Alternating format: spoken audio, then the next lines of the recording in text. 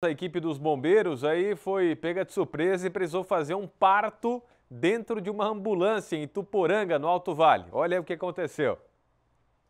A equipe encontrou a mulher dentro de casa, já em trabalho de parto, com a bolsa rompida. No trajeto para o pronto-socorro, a criança nasceu.